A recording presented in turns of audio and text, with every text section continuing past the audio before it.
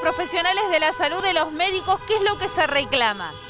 Estamos solicitando que se nos respete, que somos médicos, no somos ni héroes ni asesinos. Estamos reclamando porque la justicia, eh, esto es el caso de los médicos de, de Córdoba que han sido enjuiciados, eh, todo esto nos tiene muy mal y la precarización laboral que tenemos.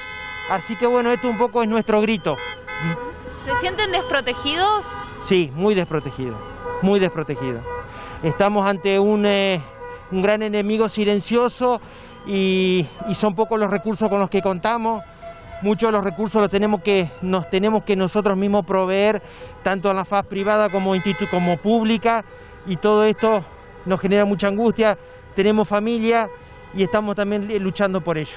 ¿Esto abarca todas las especialidades médicas? Todas las especialidades médicas, todos, todos somos un- un- un- una pieza de un gran engranaje que es el sistema de salud y estamos todos luchando por lo mismo.